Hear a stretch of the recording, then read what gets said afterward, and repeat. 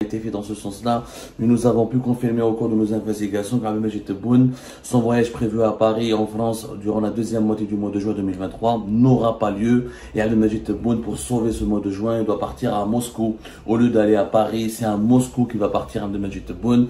Selon nos informations en attendant une confirmation officielle, Abdelmajid Tebboune devrait être à Moscou à partir du 14 juin 2023, d'ici 4 jours, pour participer à un événement international important pour la Russie. Il s'agit du Forum économique international de Saint-Pétersbourg qui va se dérouler du 14 au 17 juin 2023. C'est un bouleversement géopolitique important dont nous aurons à analyser les conséquences et les tenants et les aboutissants dans plusieurs émissions. Abdelmajid Tebboune qui devait effectuer une visite d'État prestigieuse de très haut rang en Occident à partir de sa porte, la porte de l'Occident pour l'Algérie, c'est Paris et la France pour préparer son deuxième mandat en 2024, pour soigner son prestige international, pour se réconcilier un tant soit peu et apaiser ses relations avec l'Occident. Abdelmajid Tebboune n'est pas le bienvenu à Paris. Officiellement, les malentendus, les désaccords et les blocages qu'on rencontre plusieurs euh, euh, euh, dans plusieurs domaines que rencontre que subissent les, la, la, coopération, les relations bilatérales entre l'Algérie et la France dans plusieurs domaines, l'immigration, la coopération judiciaire, sécuritaire et militaire et la coopération économique ont empêché la tenue de cette visite de Tebboune à la fin du mois de juin 2023. Tebboune n'aurait rien pu faire à Paris, n'aurait pas pu faire ce qu'il voulait en tout cas, il n'aurait pas pu arracher à la France des compromis qui lui permettraient de se targuer d'être le premier président algérien qui aurait soumis la France à, au dictat du régime algérien, où là, un certain compromis, à, une certaine faveur qu'il voulait arracher à la France. Ce n'était pas possible. Abdelmajid Tebboune ne pourra pas aller au Parlement français, il ne pourra pas aller au Sénat français, il ne pourra pas aller à Amboise euh, pour euh, se recueillir sur ce site mémorial où euh, l'imam Abdelkader avait vécu un certain temps lors de son exil français au 19e siècle. Il ne pourra pas aussi visiter la grande mosquée de Paris. Toutes ces étapes qui étaient prévues dans le voyage très ambitieux au départ d'Abdelmajid Tebboune en France ont été annulées. Maintenant, coup de poker. Abdelmajid Tebboune vient de faire un coup de poker c'est impressionnant. Il a jamais voulu partir en, en Russie avant d'aller en Occident, notamment avant d'aller à Paris, pour rassurer l'Occident, pour avoir son soutien, pour s'imposer comme étant un intermédiaire entre l'Occident et la Russie, pour, pour prouver sa neutralité vis-à-vis du conflit ukrainien et de la guerre qui a été lancée par la Russie, pour démontrer à, l'Occident et aux puissances occidentales qu'ils ne comptent pas renflouer les caisses de la Russie en achetant beaucoup d'armes au profit de l'Algérie pour financer l'effort de guerre de la, Russie en Ukraine, pour corriger cette mauvaise image que l'Algérie elle a en Europe rappelle que l'Union européenne, c'est très important pour le régime algérien. C'est notre premier partenaire commercial. C'est entre plus de 50% de nos importations et presque 60%, si ce n'est plus, de nos exportations.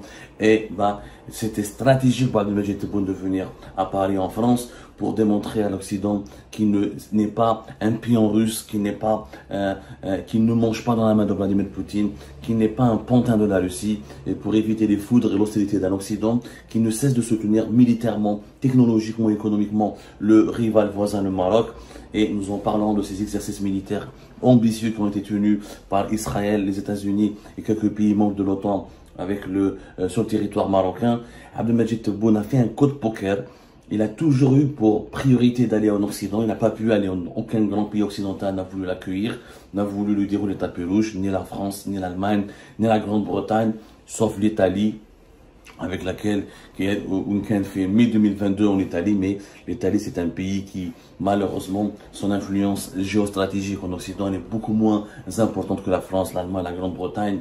Euh, la France et la Grande-Bretagne, membres permanents du Conseil de sécurité de l'ONU, toujours la brouille avec l'Espagne, toujours une mésentente une grande méfiance avec de nombreux pays membres de l'Union européenne et des relations assez froides, pour ne pas dire très froides, voire des relations qui sont en train de basculer dans la tension avec les États-Unis d'Amérique. Alors, Majid Tebboune va partir à Moscou pour, on a comme tout à l'heure, pour sous la pression d'institutions militaires.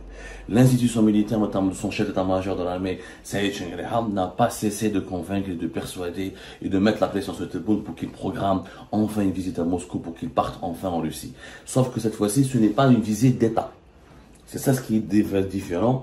Tebboune ne partira pas, il devait partir à Moscou en Russie dans le cadre d'une visite d'État, c'est-à-dire hors tout agenda, une visite spécialement aménagée par la Russie au profit d'Abdelmajid Tebboune pour l'accueillir, lui dérouler tapis rouge et signer un certain nombre d'accords stratégiques avec la Russie dans le cadre du renforcement d'un nouveau partenariat.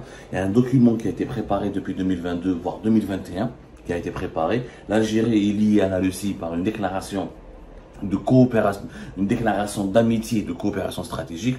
On a voulu faire une nouvelle déclaration à, l'occasion de la visite euh, euh, historique, de, à, l'occasion d'une nouvelle visite du président de Majid en Russie. On a voulu faire une déclaration de d'un nouveau partenariat stratégique dans lequel, normalement, les, les ventes militaires de la Russie vers l'Algérie devaient augmenter, les ventes d'armes militaires, le, de nouveaux volets de coopération économique et sécuritaire. Mais ça, toutes les signatures de ces accords et toutes ces négociations devaient aboutir lors d'une visite d'État. Visite d'État, je me quand un président se déplace hors contexte. Il sera le seul à être présent sur le territoire de ce pays, notamment on va vers la Russie. Si Tebboune était le seul qui va être présent sur le territoire russe, et le président de la Russie, Vladimir Poutine, va se réserver exclusivement pour l'accueillir et pour parler avec lui de la coopération entre les deux pays. Là, c'est pas le cas. Le 14 du 17 juin, la Russie accueille, organise, pas accueille, son, son plus important forum économique international, qui est le forum économique de Saint-Pétersbourg, qui date depuis, qui existe depuis 2006. Et Vladimir Poutine a créé ce forum pour renforcer la présence russe sur la scène économique mondiale, pour fidéliser les partenaires de la Russie, notamment dans le continent africain, en Amérique latine et en Asie, et pour essayer de contrecarrer le lobbying la force économique occidentale, l'Occident, il a le forum de Davos, qui est le forum du Forum économique mondial, il a plusieurs rencontres internationales, et euh, pour contrecarrer l'influence de l'Occident et pour faire de la résistance à l'Occident, Vladimir Poutine a toujours rêvé, sa stratégie c'est de établir un nouvel ordre mondial, un nouvel ordre mondial qui passe pas uniquement par les armes, la guerre ou l'armement nucléaire, ça passe aussi par les investissements économiques, les rapports économiques et le renforcement du rôle de la Russie sur la scène économique mondiale pour euh, diminuer le poids de l'Occident dans l'économie mondiale. C'est pour ça qu'ils ont fait ce forum de Saint-Pétersbourg. Et dans le forum de Saint-Pétersbourg, l'année dernière, il a été boycotté. Aucun chef d'État de, de grande nation n'a pu venir en Russie. Il y a eu des ministres. L'invité d'honneur l'année dernière, c'était l'Égypte. Est-ce que l'invité d'honneur cette année sera l'Algérie? Et ah, c'est pour ça que c'est ce qui explique la visite de Tebboune, on ne sait pas. L'année dernière, en tout cas, c'était l'Égypte. L'Égypte qui a de très bons rapports avec la Russie, qui a amélioré énormément ses relations et qui bénéficie de plus d'investissements de la part de la Russie que l'Algérie. Mais Sisi n'était pas allé l'année dernière. Sisi m'a l'année dernière. En 2019, en 2000, avant la guerre en Ukraine, beaucoup de dirigeants étrangers importants à la Forum de Saint-Pétersbourg. Il y avait l'ancien président du Brésil, il y avait l'émir du Qatar, il y avait des dirigeants africains, comme le président du Congo, euh, Congo-Kinshasa, le, le, le, en 2017-2018, il y avait l'ancien, euh, le, premier ministre actuel de l'Inde, il y avait le, des dirigeants chinois qui sont venus, plusieurs dirigeants importants. Mais depuis le début de la guerre en Ukraine, je finis en tout cas.